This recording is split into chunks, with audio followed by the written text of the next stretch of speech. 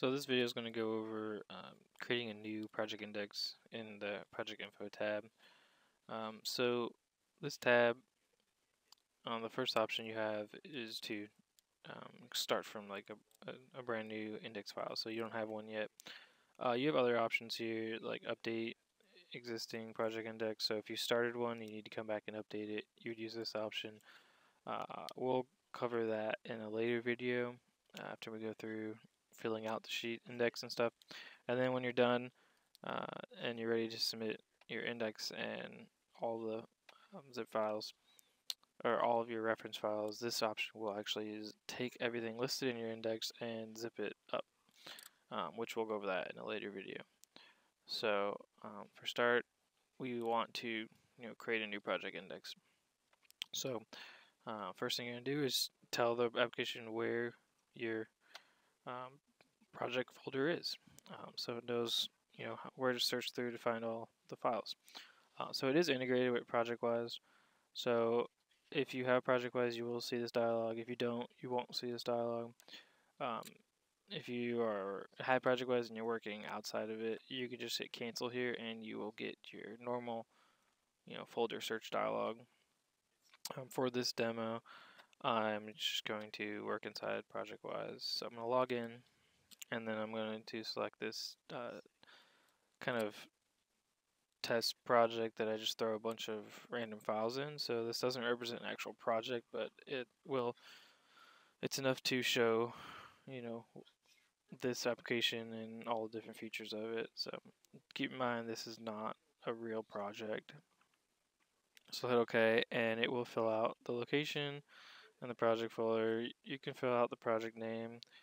Um, this is just, you know, uh, not really like absolutely needed. It's just to throw it into the header of the Excel file.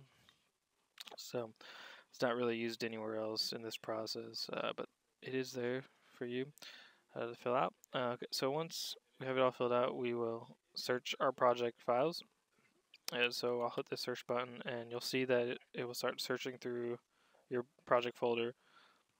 Now you notice this copy out documents, that is a, a ProjectWise thing. I need to copy out files because uh, I actually need to open some of them like dgen files to get you know the sheet models or AutoCAD files. I, I well, I, this actually does work with AutoCAD. Um, it will get all the paper spaces. Um, if so, if you have the CAD software installed and it finds those files, it will actually you know open them up and get data from them.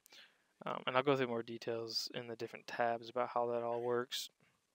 But just let you know, it does work for that.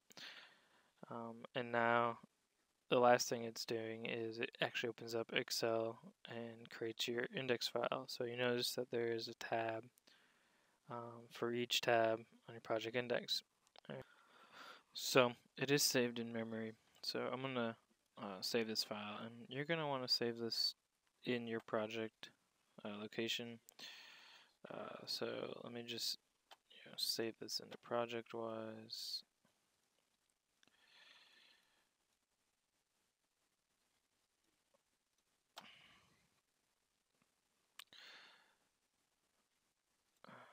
No wizard.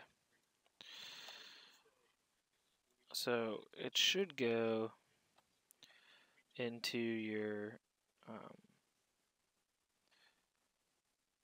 your plan package folder. Um, since it is um, required in your plan submittal um, and you should name it um, county PID project index okay? That that is how it should be labeled. So we'll just go over the rest of the stuff here. Okay, and I'll save it. Okay. So that's, um, you know, basically creating a new one. In the following videos, we're going to go over, you know, each of these tabs and how they're populated and how to fill out this sheet. Uh, one last thing uh, to go over is this help uh, button at the top, you have uh, a link to the PDF document. Uh, this is on the internet, so um, you need internet connection to get to it. Uh, but it will open up. It is a good resource if you're looking, you know, for specifics on how something works. Um, it all is in there. Uh, a how-to video series. So this will link you to this video series, and then the about tab is just give you some information about um, this application. Uh, so in the next video, we'll go over the base maps tab.